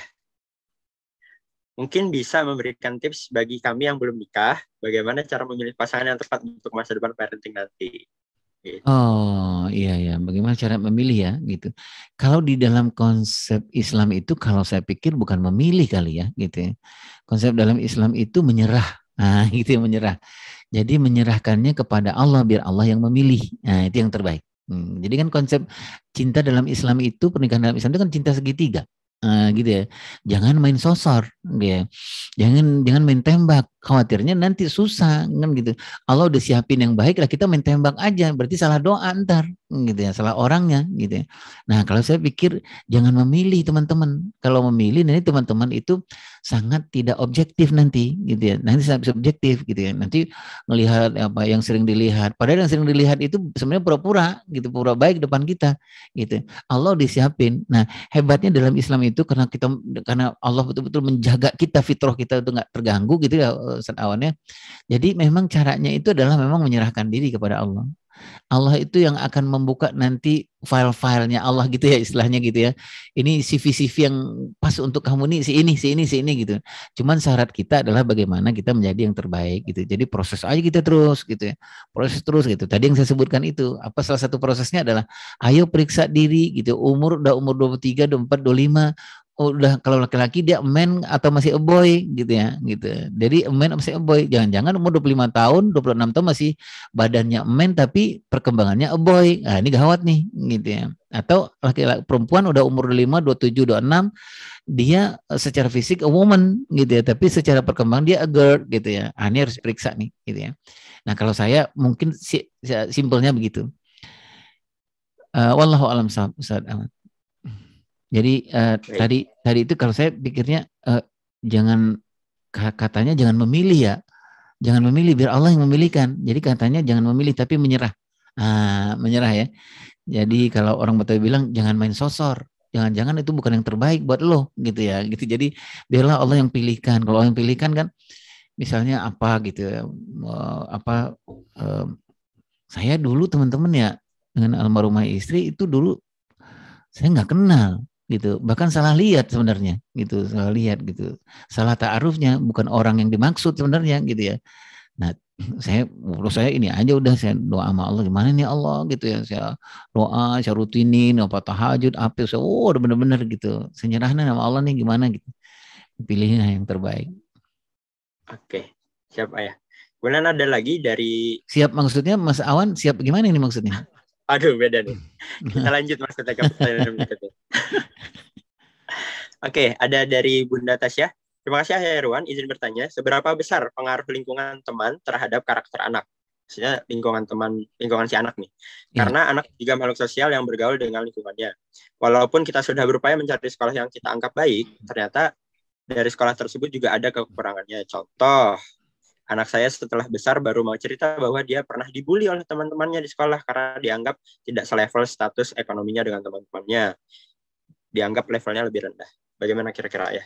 Iya, jadi itu Bunda Tasa, Bunda Tasa amat tergantung dari tahap perkembangan anak-anak. Kalau anak 0 sampai 7 tahun itu pengaruh eksternal kuat nggak? Sangat kuat gitu. Sangat kuat di eksternal. Itulah sebabnya kenapa di umur-umur 0 sampai 7 tahun itu konsentrasinya harus kepada bapak dan ibu menjadi coachnya dia gitu ya. Jadi seperti misalnya eksternalnya begini Bunda Tasya. Jadi 0 sampai 7 tahun itu kan kita hati-hati banget ya gitu. Mau mau TV aja kita hati-hati gitu ya. Karena itu adalah eksternal yang luar biasa pengaruhnya pada anak-anak. Karena dia punya punya kemampuan yang luar biasa dalam imitasi dan repetisi gitu anak-anak di umur itu. Nah, itu pengaruh sangat besar. Coba di muda Tasya, anak-anak kalau nonton TV gitu misalnya nonton TV dan kemudian dia nggak sempat kita lihat, anak-anak nonton ada artis dangdut nyanyi gitu ya. Itu lima menit dia dipanteng sama dia, kemudian kita matiin TV gitu ya. Terlima menit kemudian dia hafal tuh, dicengkoknya, jogetnya apa dia hafal gitu. Saking hebatnya tuh anak-anak diberikan kesempatan seperti itu. Jadi kalau 0 sampai 7 tahun menurut saya adalah jadilah bapak dan ibu itu benar-benar benar-benar betul yang menjaga anak-anak gitu dari lingkungan. Jadi kita memang yang harus menjaganya. Ini bergaulnya seperti apa dan lain-lain. Nah nanti di umur 7-14 tahun, 8 sampai 14 itu nanti kita bagi dua tuh Bunda Tasya. Ada yang di umur 7 sampai 10 tahun yang sering disebut dengan umur memais itu, ada yang kita sebut dengan umur 10 sampai 15 tahun atau umur 2 digit, umur balik itu. Nah, di umur ini anak-anak memang uh, memang sudah nggak bisa lagi tuh. Kita tahan-tahan udah nggak bisa gitu ya Bunda Tasya ya. Nah, cuman kita memang harus menguatkan satu namanya ikatan hati dengan anak-anak ini. Jadi kalau kalau pengaruh lingkungan iya, tapi yang paling penting itu adalah Bunda Tasa selalu uh, konsepnya itu adalah connection before correction. Itu penting. Jadi kalau kalau apa-apa ke anak itu jangan koreksi dulu, tapi connection dulu. Attachment before achievement. Nah, itu dulu yang kita kerjain. Nah, kadang-kadang kan kita nih anak-anak udah mulai gede dikit, apa aja salah, apa aja salah. Jadi kalau ngomong sama anak itu kalau satu hari itu nggak ngelihat kesalahan anak, kayaknya nggak resep gitu hidup gitu lah apa bunda gitu. Apa kita? Nah, sekarang kita balik, harusnya koneksi dulu kita kuatkan. Harusnya attachment dulu kita kuatkan, baru achievement, baru persoalan koreksi. Nah, apa yang harus kita lakukan kalau kalau kalau ikatannya kuat Bunda Tasya, kalau ikatannya kuat dengan anak-anak gitu ya, mudah-mudahan gitu akan gampang untuk meluruskannya gitu. Kalau ikatannya kuat. Gitu. Nah, termasuklah nanti dengan sekolah. Kalau menurut emat saya, sekolah yang baik itu bukanlah sekolah yang dalam iklannya itu ada cashback. Nah, kalau itu matahari, matahari, borobudur, gitu ya, itu itu sekolah 100 pertama hadiahnya piring gitu. Nah, itu menurut saya bukan sekolah tapi KSB apa? Karena sekolah itu kita jangan tergantung, jangan terpesona dengan fasilitas. Bunda. Tapi sekolah itu adalah kita mau masukkan anak kita ke sekolah itu itu karena kebutuhan roadmap yang tadi saya sebutkan itu gitu. Jadi misalnya gini, anak kita umur udah 8 umur 8 tahun, umur 8 tahun, 9 10 tahun. Suami istri diskusi nih, "Bang, gimana Bang ya? Kita kayaknya abang kan kerja, saya juga kerja nih. Gimana? Kayaknya kita udah butuh bantuan nih bang, gitu. Bantuan untuk ngapain? Anak-anak kita ini supaya dia punya kekuatan ke laki-lakian dan laki-laki ini supaya jangan gampang dibulinya, supaya dia dia apa? Dia menjadi karakternya itu bisa terbuka gitu. Kita kayaknya minta bantuan deh bang. Bantuannya ke siapa? Sekolah. Nah kita pilihlah sekolah bukan yang tadi menjual fasilitas tapi kita pilihlah sekolah. Misalnya begini uh, Ustadz Awan saya datang nih bawa anak laki-laki saya ke sebuah SD misalnya SD atau apalah namanya SD atau apa. Saya bilang sama sekolah sekolah ini saya bawa nih anak laki-laki saya boleh nggak bantu saya? Boleh nggak bantu saya untuk menjadikan anak laki-laki saya ini jadi Ismail kelak kemudian hari? Kalau sekolahnya bilang Ismail yang mana bang? Nah, berarti nggak usah sekolah anak di situ oh dia berarti nggak ngerti nih gitu ya, Ismail yang mana bang gitu. Ismail Ismail Nabi Ismail. Lah emang ada apa Nabi Ismail? Kalau sekolahnya bilang begitu ah, berarti nggak usah sekolah di situ. Meskipun dalam ruangan itu AC-nya 6 gitu ya. Walau playgroundnya luas nggak usah sekolah di situ. Karena roadmapnya nggak sama sama kita gitu. Nah itu gunanya menurut amat saya. Nah kalau roadmapnya sama apa gunanya? Adalah uh, kita sama-sama gitu ngegedein anaknya sama-sama menjaga anaknya. Misalnya begini, ketika anaknya sudah masuk umur 9 tahun, 10 tahun, nah kita sudah boleh bicara soal konsekuensi gitu ya. Kita sudah bicara soal aturan. Yang menjadi persoalan adalah ketika kita di rumah bikin aturan dan menjelaskan dan menerapkan konsekuensi di sekolahan nggak melakukan itu gitu ya. Ini berarti kan roadmapnya nggak sama nih, ya bunda. Nah, Uh, kalau pertanyaannya Bunda Tasya, apa yang harus kita lakukan? Itu dulu yang kita lakukan. Bikinlah koneksi dengan anak-anak itu uh, sebelum kita melakukan koreksi, bikinlah attachment yang banyak sebelum kita achievement. Kemudian, kalau uh, yang saya bilang, uh, Bunda, di setiap tahap perkembangan tadi itu kan ada tokoh-tokohnya gitu ya. Misalnya tahap perkembangan 0 sampai 7 tahun itu tokoh utamanya ada ibunya. Nah, di tahap perkembangan yang kedua itu, di umur 7, 8, 14 itu, itu tokoh ayah. Nah, di situlah ayah memimpin hampir semua kegiatan anak laki-laki dan perempuan, terutama laki-laki dan memperempuankan anak perempuan. Kalau di umur 8 sampai 7 sampai 14 sampai 15 tahun itu ayahlah yang akan mengajarkan kepada anak-anak kita mengcoachingkan bagaimana punya daya survive itu itu ayah gitu. Bagaimana menjadi seorang laki-laki itu? Misalnya gini, laki-laki itu kalau nggak boleh misalnya apa-apa jangan disimpan nak gitu. Nah itu ayah yang mencontohkan tuh karena laki-laki kita. Nah, konsepnya adalah dengan bersimulasi.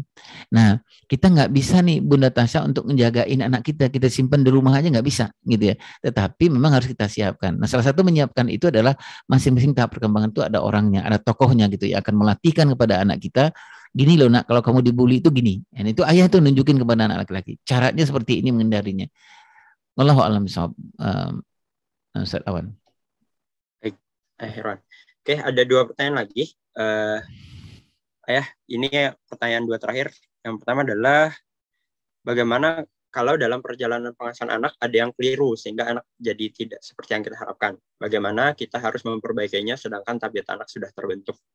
Ya, yang pertama itu uh, Bapak Ibu yang berkata nah anak yang diharapkan itu disepakati dulu seperti apa gitu jangan jangan maksudnya jangan di awang-awang gitu apa apalagi di awan gitu ya.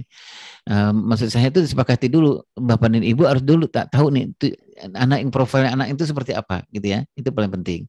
Nah kemudian menurut emak saya ayah dan bunda yang melakukan taala kalau ada yang keliru itu kalau urusan dengan perkembangan sebenarnya bisa reparenting bisa kita atur pola yang baru gitu. Kita bisa perbaiki gitu. Misalnya ini anak di umur 7-14 tahun anak laki-laki ayahnya nggak hadir nih. Pada anak sekitar udah umur 16 tahun nggak muncul kelaki-lakiannya. Kenapa? Karena bapaknya nggak mencontohkan kelaki-lakiannya seperti apa. Nah, gimana nih kejadiannya? Bisa nggak nih kita perbaiki? Bisa, ayah bunda. Namanya dengan membayar hutang. Nah, membayar hutang itu adalah yang yang terbaik adalah menurut emak saya kesepakatan bapaknya yang bikin proyek ini, memimpin proyek ini. Mem, mem, apa kalau istilahnya reparenting lah gitu ya, mengulang kembali. Kalau pola-pola yang nggak bagus diulang dengan pola-pola yang baik. Yang menjadi agak berat itu adalah ketika anak kita mengalami luka sebenarnya. Luka pengasuhan itu memang membutuhkan orang orang lain, orang lain. Uh, orang-orang yang profesional help lah gitu ya, apa psikolog, apa psikiater dan lain-lain. Nah, gitu mungkin Ustadz uh, Awan. Baik. Oke, pertanyaan terakhir, eh Herwan, uh, izin bertanya, ketika orang tua sebagai idola, baik buruk tingkah laku di contoh anak, apakah tindakan kita kepada anak ketika anak meniru sisi baik dan ketika sisi buruk dari kita? Ya, nah yang penting itu secara teknisnya ada dua waktu yang harus kita jangan disia-siakan Ustadz Awan. Yang pertama itu waktu pagi hari. Pagi hari itu kalau saya mengistilahkannya cek feeling. Cek feeling itu anak-anak kita cek perasaannya dia gitu ya. Misalnya apa, ayah sayang banget sama kamu. Itu tiba-tiba anak bilang, aku enggak, aku enggak sayang sama ayah.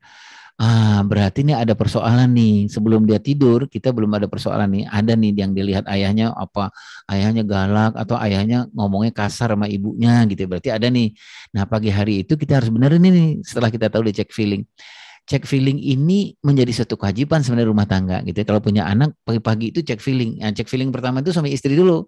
Kan biasanya gini, uh, kalau kita bangun ya, bangun uh, pagi-pagi bareng sama istri bangun, uh, setelah kita berdoa kan kita cek sama pasangan kita ya, dek kamu bahagia nggak sih gitu pagi ini? Kalau istri bilang ya Allah bang bahagia banget bang, bahagia banget, berarti udah beres nih. Baru kita cek feeling nih kepada anak-anak kita gitu. Nah, soalnya ini bahtera nih, perjalanan jauh soalnya kalau nggak tahu feelingnya pagi-pagi gimana gitu. Nah yang paling berat itu adalah suami istri nggak pernah cek feeling gitu. Nah, yang adanya cek rekening gitu. ya Cek rekening aja urusannya gitu. Cek feelingnya dulu pagi-pagi gitu. Kasih istrinya bang, abang bahagia nggak sih pagi ini? Oh, bahagia deh, alhamdulillah. Nah kemudian anak-anak kita cek feeling nih, Ustadz Awan, cek feeling. Nah, tadi yang saya sebutkan itu, oh, seneng nggak sama ayah, kangen nggak sama ayah, bahagia nggak kalau dengan ayah gitu. Biasanya pagi-pagi kalau ada yang belum beres nih, anaknya bilang gitu. Enggak, uh, ayah kasar sama ibu ngomongnya begini, ah berarti ada yang harus kita perbaiki. Yang kedua adalah waktu ketika mau tidur. Ini penting nih terutama bagi anak 12 tahun ke bawah. Di 12 12 tahun ke bawah waktu mau mau tidur itu kita menyebutkan ada uh, ada checkpoint terakhir nih eh, di hidup anak kita. Apa itu? Sebelum dia tidur kita cek dulu Abang, hari ini apa yang abang nggak bisa lupakan? Nah, kalau yang dia nggak bisa lupakan itu, yang di bawah subconsciousnya itu sesuatu yang buruk, perbaiki itu segera. Tadi aku ngelempar kucing sampai kucingnya ini ini, ini gitu. Nah itu harus diperbaiki karena kata para ahli nanti uh, apa akhlak buruk itu kalau nggak kita perbaiki sebelum tidur anak-anak kita itu dia bisa bertahan itu bertahun-tahun di bawah sadar anak-anak kita gitu. Nah ini teori yang paling apa praktis yang apa yang paling praktis nih uh, Ustadz Awan gitu. Jadi hati-hatilah dengan dua waktu ini. Dengan dua waktu yang menjelang tidur dan kemudian bangun tidur dan menjelang tidur. Nah di saat itulah yang menjadi tantangan kita itu adalah bapak ibunya nggak pernah hadir dalam dua masa ini. Cek feeling yang pertama, yang kemudian cek poin yang terakhir. Jadi anak-anak tuh tidur kadang-kadang apa ya? Kadang-kadang tidur depan TV, kadang-kadang tidur apa nggak sempet nggak sempet dicek tuh apa yang terjadi di anak-anak kita itu. Allah alam bisa Kang Awan. Baik, sekarang kepada Kalau Kang Awan sudah menikah ya? Sedang proses. Oh, ya. sedang proses, sedang proses berani maksudnya ya. Betul. Ini memilih atau menyerahkan diri? Kita menyerahkan. Ah, menyerahkan diri. yang datang yang mana lah. Insya Allah. Oke, okay, uh, eh, sudah sampai di uh, akhir sesi tanya jawab, uh, mungkin dari Ayah Irwan, kiranya ada closing statement untuk melengkapi sesi hari ini, dipersilahkan. Ya, kalau saya cuma nasihat buat diri saya, uh, Mas Awan, bahwa untuk menjadi idola bagi anak-anak itu yang terbaik itu sebenarnya adalah inside out. Inside out itulah membangun dari dalam dan lewat inspirasi. Uh, apakah motivasi nggak boleh? Boleh. Tapi kalau terlalu banyak motivasi itu biasanya bangunnya dari luar. Membangun keidolaan dari luar itu biasanya artifisial, tahannya sebentar. Gitu. Yang paling lama itu inspirasi. Gitu. Inspirasi itu membangun anak dari dalam. Mudah-mudahan kita bisa melakukan ini insya Allah Bapak dan Ibu yang mulia Allah Ta'ala dan mudah-mudahan kita diampuni oleh Allah apa-apa kekurangan kita, kezaliman kita kepada anak-anak kita atau banyak hak-hak dari anak kita yang kita tunaikan. Yang mungkin kita lengah, kita abai menunaikan waktu di usia-usia terbaiknya dia. Dari saya mungkin itu saat Mas Awan, saya mohon maaf dan lahir batin insya Allah. Assalamualaikum warahmatullahi wabarakatuh. Waalaikumsalam warahmatullahi wabarakatuh. Ya, baik, jazakallah khair pada Akhirwan. Uh, semoga uh, sharing hari ini bisa menambah bekal ayah bunda sekaligus eh, kakak-kakak yang sedang mempersiapkan gitu ya agar kita benar-benar bisa menjadi ayah bunda orang tua idola bagi anak Ya, jadi teman-teman hari ini kita sudah membahas topik tentang bagaimana menjadi orang tua idola anak gitu ya. Di mana uh, untuk menjadi idola ada enam peran yang perlu kita miliki bersama. Yang pertama adalah menjadi teladan, kemudian pengarah, pendidik, sekaligus pengembala, kemudian uh, nasihat dan juga rujukan. Nah, untuk bisa mencapai uh, enam role tadi ada dua kunci, yaitu uh, benar dan asyik. Benar sesuai dengan Al-Quran dan hadis, kemudian asyik uh, yaitu sesuai dengan tahapan perkembangan anak. Dan ini juga tadi sempat di remind, di mention oleh Ayah Irwan bahasanya kita perlu nih untuk punya buku tahap perkembangan anak kita sebagai pegangan kita untuk tahu sebenarnya anak kita ini sedang ada di tahap apa sih sehingga penyelesaian kita akan lebih uh, bisa masuk gitu ya ke tahap perkembangan anak tadi. Nah kemudian ada tiga kunci atau faktor penentu sukses atau tidaknya yaitu ada tiga relasi nih relasi spiritual, pernikahan dan pengasuhan gitu. Nah spiritual ini bagaimana nanti pada akhirnya kita bermuara kepada Allah Subhanahu wa taala. Kemudian pernikahan adalah bagaimana hubungan kita dengan diri kita dan juga dengan pasangan kita gitu. Ini tadi dibahas sempat ya tentang roadmap gitu, tentang perjalanan uh, pernikahan ini mulai dari awal uh, kemudian pernikahan awal sekitar 1 sampai 5 tahun, kemudian tahap-tahap selanjutnya gitu. Nah, ini dibuat roadmap-nya nih gitu. Kemudian berikutnya adalah pengasuhan. Bagaimana kita menyamakan visi misi kemudian langkah strategis uh, bersama pasangan untuk uh, uh, mendesain gitu kan parenting by design gitu ya. Uh, apa untuk anak-anak kita gitu. Bagaimana tadi prinsip-prinsipnya kemudian pola-polanya kemudian termasuk untuk komitmen dan juga keistiqomahan kita untuk uh, mendidik anak-anak gitu hari ini ya kurang lebih. Dan tadi ada uh, tanya jawab terkait dengan bagaimana hubungan uh, lingkungan anak uh, dengan uh, perkembangan anak itu sendiri. Gitu. Kemudian uh, poinnya adalah kita harus tahu poin perkembangannya ternyata kalau di awal itu uh, faktor uh, ekstra ini cukup kuat berpengaruh kepada anak. Kemudian uh, tadi ada juga bagaimana uh, kita menjaga uh, apa dua waktu yaitu sebelum tidur dan sesudah bangun tidur dengan cek feeling gitu ya. Dan pertanyaan-pertanyaan lainnya. Oke, bagaimana Kak Kurina? Apakah sudah bisa? Sudah, sudah bisa. Oke, baik, dipersilakan.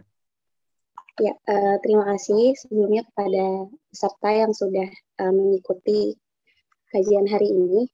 Uh, yang tepat waktu, yang, yang datang menyusul. Insya Allah uh, materi dan video, eh uh, mohon maaf kalau materi tidak ada, namun untuk uh, video rekamannya nanti akan diupload di channel YouTube Zakat Sukses.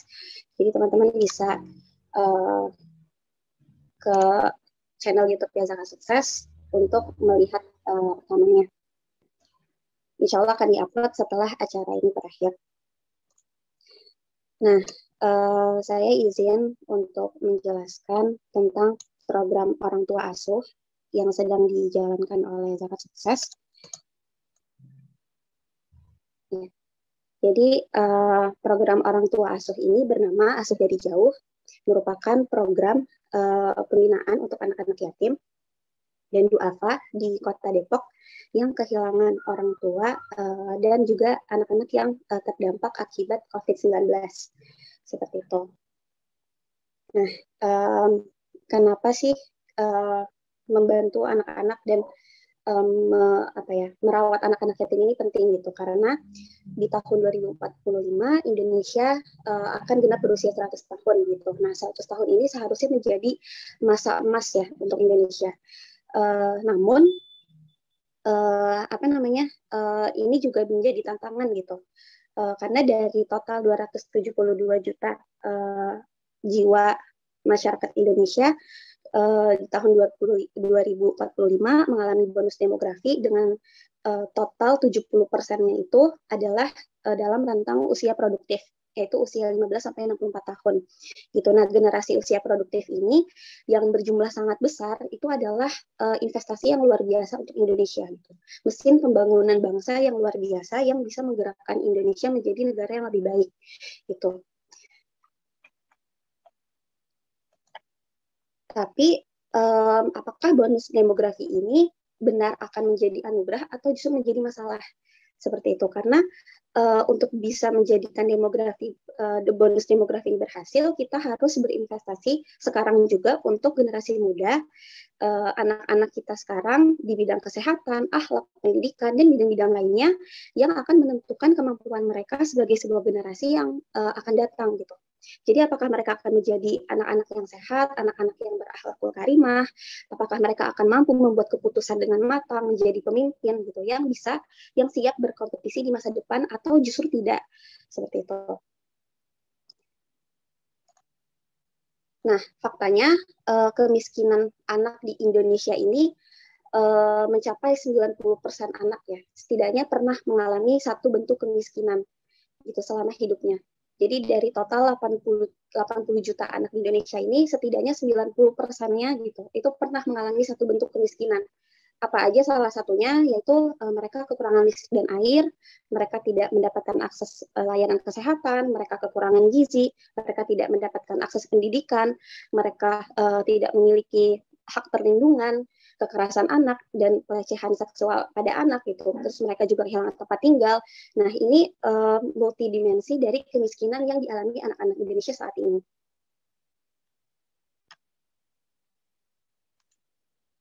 Nah, uh, lalu apa yang terjadi dari uh, pandemi COVID yang sudah berlangsung uh, dua tahun ini gitu ya? Uh, apa sih dampaknya gitu? dari data Satgas Penanganan COVID-19 per 20 Juli tahun 2021 ada 11.040 anak yang menjadi yatim piatu dan kehilangan orang tua karena meninggal akibat COVID-19. Dari uh, ini juga datanya masih uh, belum bisa dipastikan ya. Uh, dari Kemensos sendiri itu perkiraannya ada 15.000 sampai 16.000 anak. Sedangkan dari KPAI itu memprediksi ada 40.000 anak gitu. Nah, uh, oh ini di Indonesia ya, mohon maaf. Jadi kalau di Kota Depok sendiri itu ada 887 anak dengan usia 3 sampai 10 tahun yang kehilangan orang tua uh, atau kehilangan salah satunya saja. Gitu.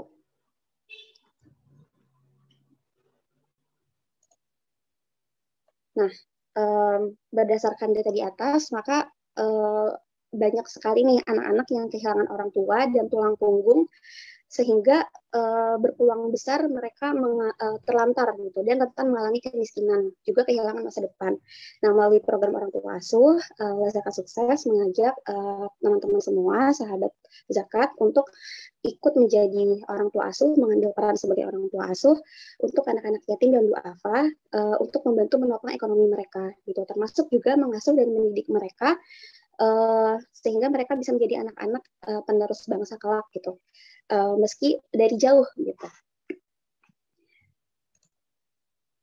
Nah, jadi asuh dari jauh ini adalah program pemberdayaan yang berfokus pada pengembangan karakter, kesehatan, juga pendidikan anak-anak yatim dan duafa.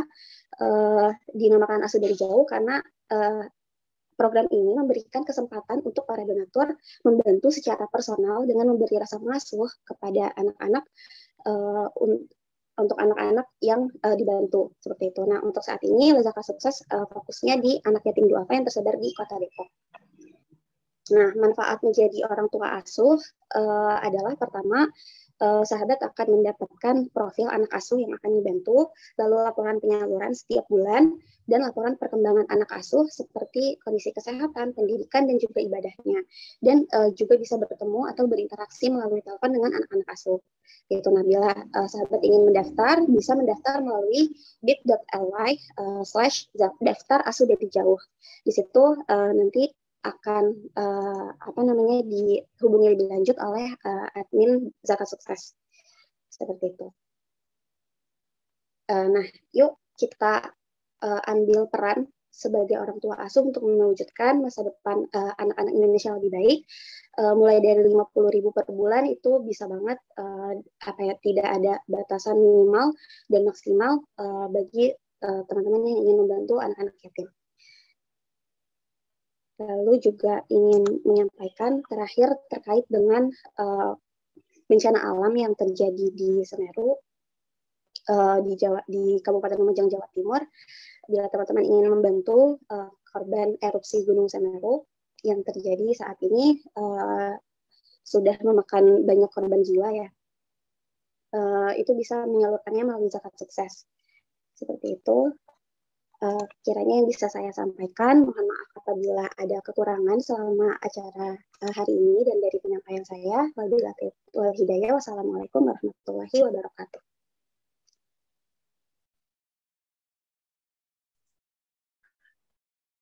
Ya, baik. Terima kasih Kak Kurina. Uh, ya, seperti ya, seperti itu ya Ayah Bunda. Uh, jadi kita selain uh, punya opportunity, peluang kesempatan untuk membesarkan dan mendidik anak-anak kita, uh, ada juga nih ternyata peluang untuk kita menjadi orang tua asuh uh, bagi uh, para anak-anak yang qadarullah uh, mereka dapat ujian gitu ya, uh, harus uh, kehilangan orang tuanya. Dan uh, zakat sukses uh, memberikan sebuah peluang agar uh, kita bisa memiliki lebih banyak anak dalam tanda kutip selain anak biologis juga anak-anak uh, ideologis gitu mungkin ya kalau boleh dibilang. Nah dan tadi caranya cukup mudah. Jadi dengan 50 ribu per bulan itu kalau sehari berarti nggak sampai 2 ribu ya. Gitu. Nah dan ini kita sudah turut uh, berkontribusi untuk uh, apa membantu uh, kesejahteraan anak-anak tadi dan dalam skup yang lebih jauh dan dalam jangka panjang itu turut berkontribusi untuk perkembangan Indonesia agar bisa mencapai masa kejayaan di 2045 dan uh, ayah bunda kiranya ingin ikut terlibat dalam program ini, uh, dipersilahkan nanti uh, bisa DM Instagramnya ataupun uh, chat di grup gitu ya. Nanti akan uh, kami follow up uh, dari tim uh, zakat sukses. Seperti itu. Dan uh, apakah ada yang ingin ditanyakan mungkin terkait program tadi? Mungkin dipersilahkan pada ayah bunda sekalian.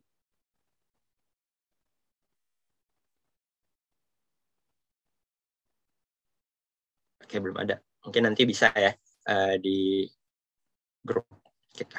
Oke, uh, ya nih ada daftarnya yaitu di bit.ly slash daftar asuh dari jauh. Seperti itu. Ya, uh, Alhamdulillah kita sudah sampai di penghujung acara. Uh, semoga hari ini bisa menambah uh, keberkahan uh, apa dalam langkah kita untuk menjadi orang tua idola anak. Dan teman-teman uh, juga ya bunda sekalian uh, mohon kesediaannya untuk mengisi uh, feedback untuk sesi hari ini agar ke depan kita bisa improve lebih baik di sesi berikutnya uh, bisa untuk mengisi form di bit.ly slash feedback webinar ZS atau tinggal diklik aja linknya. Gitu. Ada beberapa pertanyaan nggak sampai 10 dan gampang tinggal klik-klik aja. Gitu ya. Baik, uh, karena sudah sampai di ujung acara, tak terasa gitu ya, hampir dua jam kita belajar bersama untuk menjadi orang tua idola anak. Mari sama-sama kita tutup uh, sesi hari ini dengan membaca lafaz hamdalah, alhamdulillahirabbil alamin. Kemudian juga istighfar. Dan juga doa kafar majelis, subhanakallahumma bihamdika asyhadu an la ilaha illa anta astaghfiruka wa atubu Baik, terima kasih Ayah Bunda. Sekian dari saya. Mohon maaf apabila ada kekurangan dan salah-salah kata. Terima kasih. Assalamualaikum warahmatullahi wabarakatuh.